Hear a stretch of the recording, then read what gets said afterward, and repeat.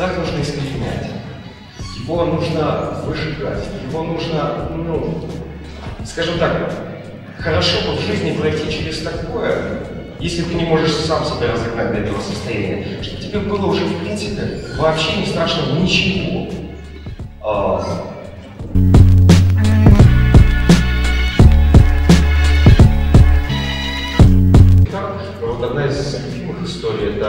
я иду по Пушкинской ночи, останавливается такая хорошенькая Ауди, последняя, и выскакивает мужчина и такой, ты Гамлет, да.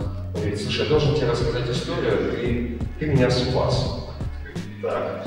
Он говорит, ну я тебе не буду пересказывать вообще все свои сложности, перипетии в жизни, ну, короче, был букет всего. Ну вот, а, развод, а, меня кинул партнер, меня отжимают бизнес, ну вот просто вот букет всего, ну вот все.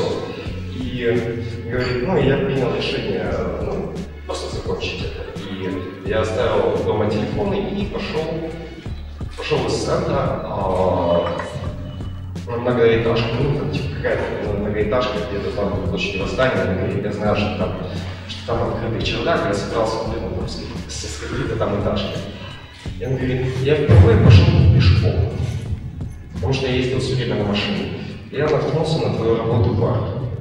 Ну, я брел, понятно, я, я не спешил туда на крышу, а я, я решил прогуляться. Я наткнулся на твою работу, задумался, а потом на Пушкинской там пошел в круглосуточный, взял бутылку водки, какой-то колбасы.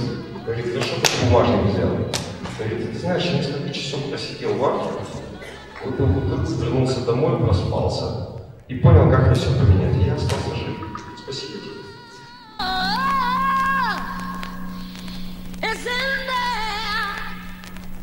Просто майнлейки у них є, там, всі волонтери, які у них працюють, а, всі витрати і так далі.